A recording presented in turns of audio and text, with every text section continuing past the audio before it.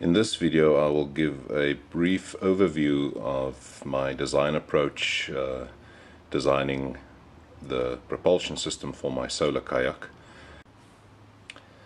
These four components represent the main subsystems that all need to be analyzed. This is the hull and the powertrain consists of the solar panel, a DC brushed motor and the propeller. This video will be followed up by a series of in-depth videos where I look at each subsystem separately. I'll be using this motor together with uh, another small solar panel, do some actual tests. Now before I continue I do realize that uh, this is the simplest form of implementing propulsion. It is not the easiest to optimize. There are different ways of improving the system. You can, for instance, add a maximum power point tracker. You can add batteries. It all depends on the application, budget, etc. In my case, this was uh, designed for a solar boat race, so that automatically ruled out the battery. And at the time, budget constraints ruled out a maximum power point tracker. Now, the hull, the panel, the motor, the propeller, each have their own characteristic equations describing performance, power required, power output, efficiency, etc. These equations will show us how the various subsystems interact with each other and affect performance. Where you start in the system depends on your personal circumstance and which component you already have and which components you are able to play around with. In my case, I already had the kayak hull, so that was one starting point. The power available from the solar panels was determined by my budget at the time. I could afford three 50 watt panels. So these two systems would be my entry into the design cycle. From there I can look at different motors, make sure that mat they match up with the panel and once I've got that match sorted out I can select a propeller to go with the motor. The hull has a characteristic power curve that varies with velocity. I was able to get drag values using a small simulating program and you can get a power curve that looks like that.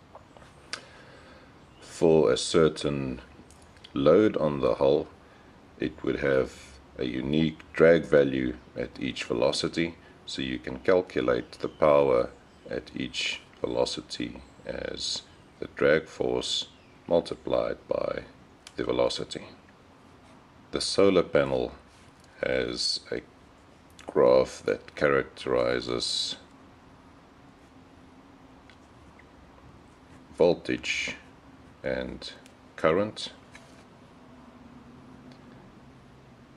Sometimes they supply this graph with the panel, other times they simply tell you what the open circuit voltage is, they tell you what the short circuit current is, and they would also give you the maximum power point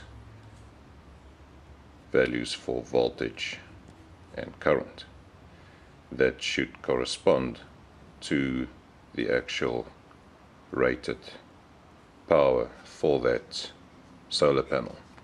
Now note that the rated power for a solar panel is dependent on solar irradiation standardized as the value output at 1000 watt per square meter uh, power from the sun.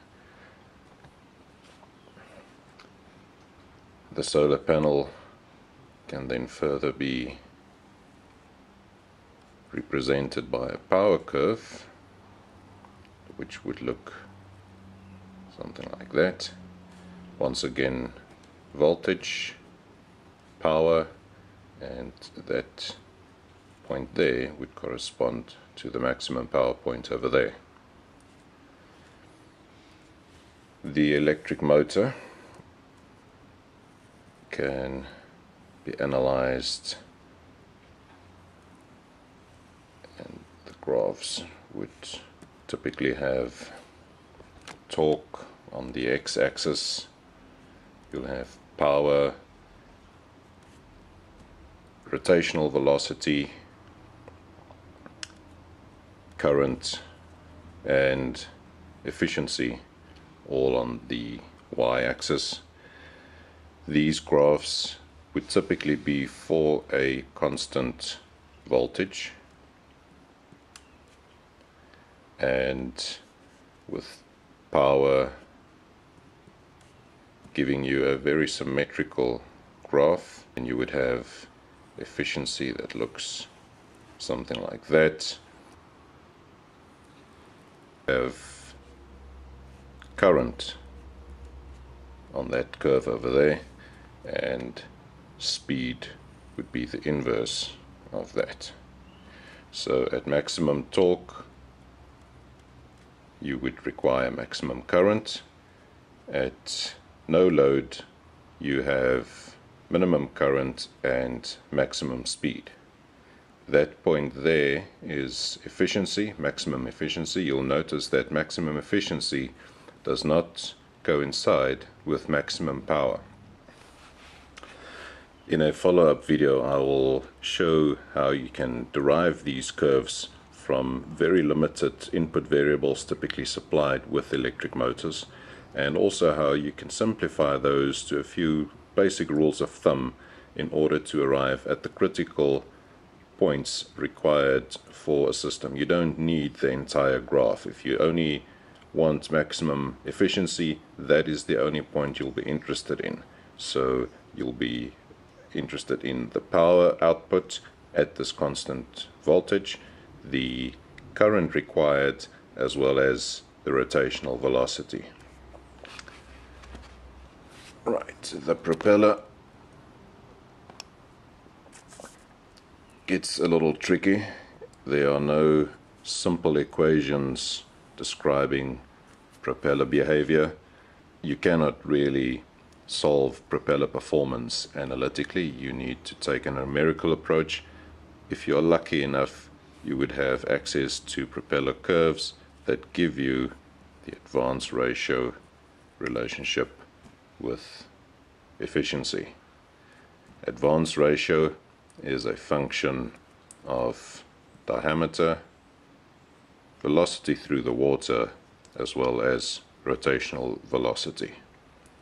And for a particular propeller, once again, you only have one particular operating point at which you get maximum efficiency. That would correspond to maximum thrust for that given rotational velocity.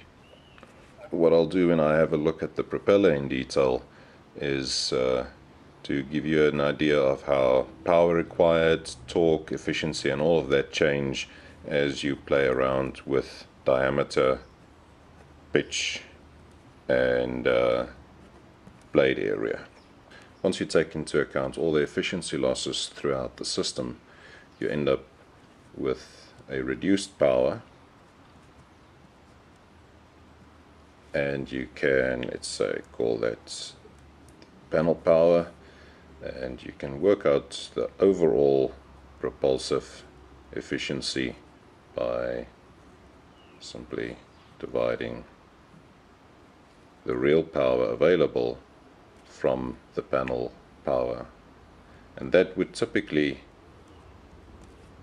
be in the order of 50%. If you really know what you're doing and you've really optimized everything you can push that up uh, 55 maybe but 60% uh, is really not very realistic and uh, if you want to be conservative rather aim for 45 or thereabouts.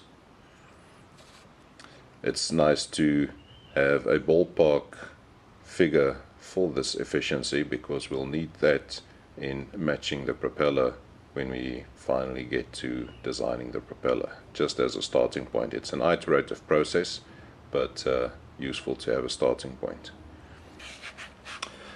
In the following video where I look at the characteristics of the solar panel, I will also show how you can compare the motor and the panel and evaluate the compatibility to get best, best performance from a particular motor and panel pair. And in the video following up on that, where I look at the motor characteristics, I will explain how you can remedy any mismatch between the motor and the solar panel. Once you found a motor that is a good match for the solar panel, in other words, the motor would absorb all the available power from the panel at exactly the point where itself operates at maximum efficiency, you can then use that rotational velocity as the design input for selecting a propeller. Once you've gone through this exercise, uh, you have a very good understanding of making best use of additional parts such as a buck converter. Uh, if you want to use batteries, you can now quite easily determine what power output would give you best range, what power output would give you best performance. You can upgrade your motor to a brushless motor and you can work out how that would match up with your panel, how you would calculate a new optimum propeller. You can work out performance for different hulls, you can work out performance for different loads. So for those who are interested in the more technical details, uh, stay tuned. I'll be covering each of these subsystems in more detail later.